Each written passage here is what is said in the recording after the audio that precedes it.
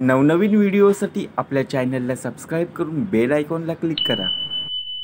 करायचं स्मरण. जय जय रघुवीर समर्थ. श्री समर्थांनी आपल्याला उत्तमाचं श्रवण दिलं. त्या श्रवणाच्या माध्यमातून समर्थांनी आज आपल्याला श्री रामनवमी.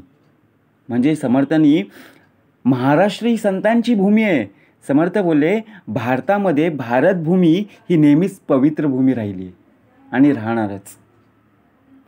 समर्थ बोलले की अनेक देवी देवतांनी इथे अवतार घेतलेला आहे. म्हणून जेव्हा रावणाचे अत्याचार खूप वाढले तेव्हा लोक अस्वस्थ झाले. म्हणून समर्थ बोलले या अत्याचारांपासून मुक्त होण्यासाठी भारतीय भूमीवर महापुरुषाचा जन्म झाला. आणि या महापुरुषाचे नाव भगवान राम होते. ज्याने रावणाच्या अत्याचारातून मुक्ती मिळवली आणि लोकांचे रक्षण केले म्हणजे समर्थ बोलले कृते जनार्दनो त्रेताया रघुनंदन द्वापारे रामकृष्ण च आणि कलो श्रीपादश्री वल्लभ. आता जो चालू आहे तर कलियुग चालू आहे. पण परंतु त्रेतायुगामध्ये जन्मलेल्या भगवान रामाचा जन्मदिवस म्हणून रामनवमी म्हणून साजरा केला जातो. म्हणजे समर्थ बोलले चैत्र महिन्यातील शुक्ल पक्षात जी नवमी येते तिला रामनवमी असे म्हणतात. या दिवशी समर्थ बोलले दुपारी बारा वाजता श्रीरामाचा जन्म झाला. या दिवशी प्रत्येक मंदिरामध्ये श्रीरामाचा जन्मोत्सव साजरा केला जातो. त्या त्या ठिकाणी समर्थ बोलले पृथ्वीवर काय झालं आहे पाप वाढलेत. पहिल्या कृतयुगामध्ये सत्ययुगामध्ये का होतं? उत्तमाचे शंभरच्या शंभर टक्के काय होतं? पुण्य होतं. परंतु जसजसा काळ बदलत गेला कृतनंतर त्रेता आला त्रेतानंतर द्वापार आला आणि आता कली आला. तर शक दुष्टशक्ती लोकांना त्रास देऊ लागली.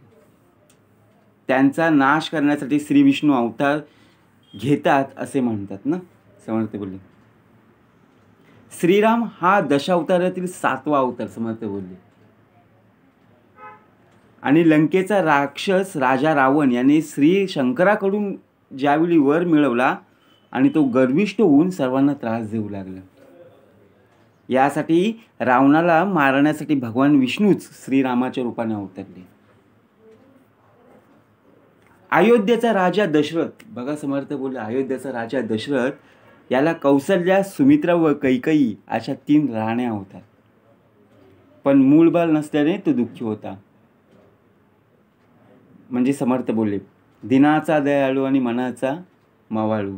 स्नेहाळू कृपाळू जगी दास पाळू. तया अंतरी क्रोध संताप कैसा आणि जगी धन्य तो दास सर्वोत्तम. असं कधी अंतरी क्रोध नाही समर्थ बोलले.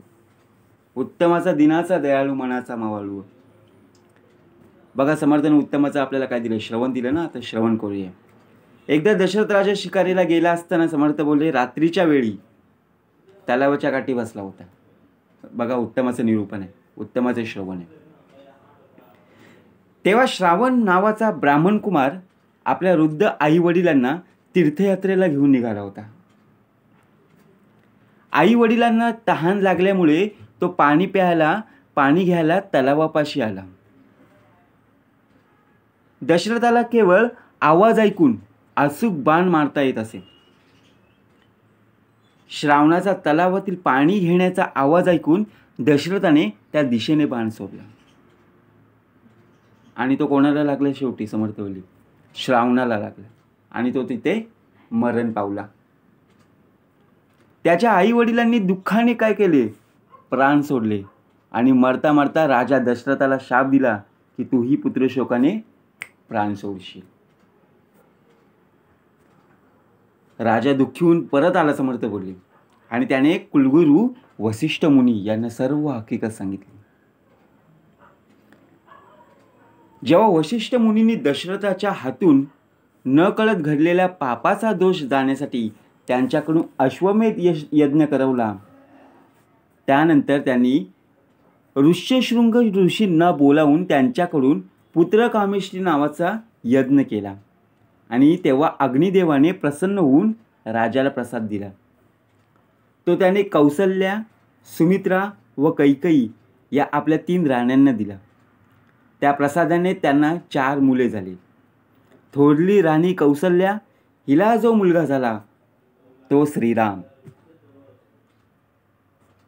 कोणाला समर्थ बोले कौशल्या हिला मुलगा झाला त्याचं नाव श्रीराम.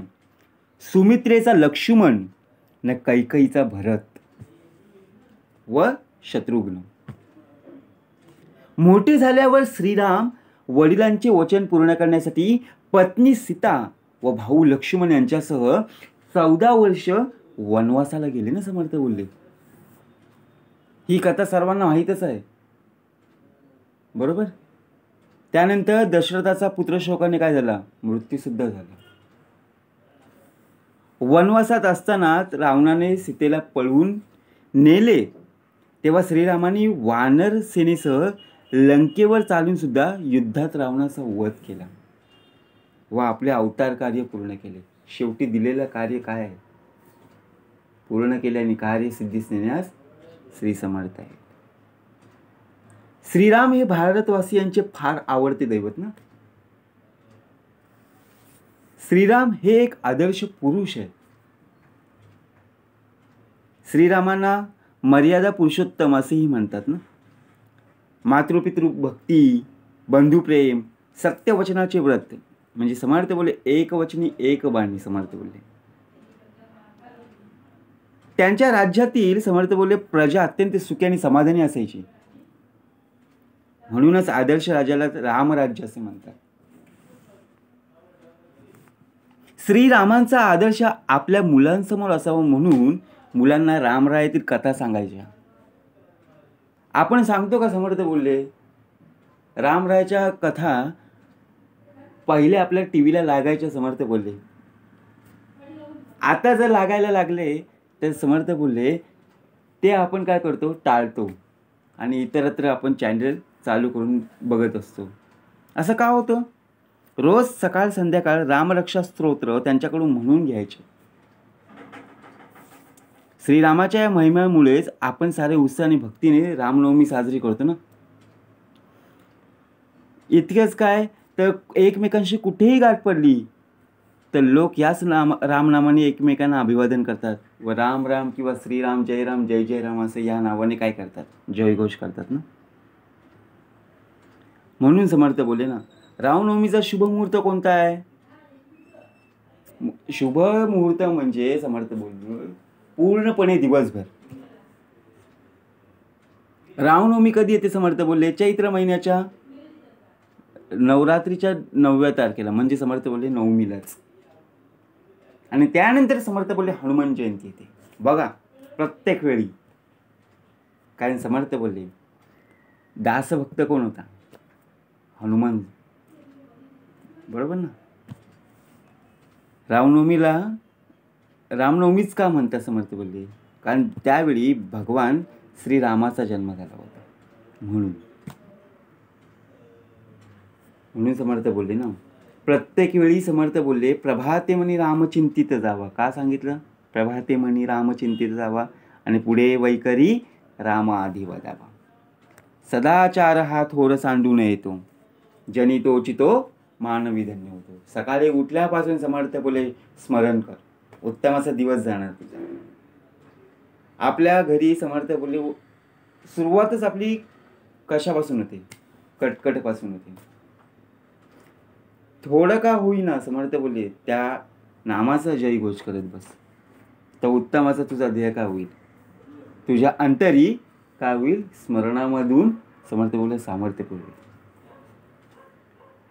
कारण त्याच प्रकारे समर्थ बोलले पुढे वैखरी रामा अधिवादावा वैखरी आपली साथ कोणासोबत देते समर्थ बोलले? वैखरीतून निघणारे शब्द एखाद्या धनुष्यातून सुटलेला बाण एखाद्याला लागेल तसे आपले शब्द असतात. एखाद्याला मारलं समर्थ बोलले तर त्याचे वळ निघून जातील. पण समर्थ बोलले एखाद्याला लागलेला शब्द समर्थ बोलले शेवटपर्यंत तो मरेपर्यंत लक्षात ठेवेल. म्हणून समर्थ बोलले वैखरी जपून वापरली पाहिजे. म्हणून सदाचार हा थोर सांडून येतो. कधीही समर्थ बोले संकल्प करताना उत्तमाचा संकल्प करायचा. बरोबर ना?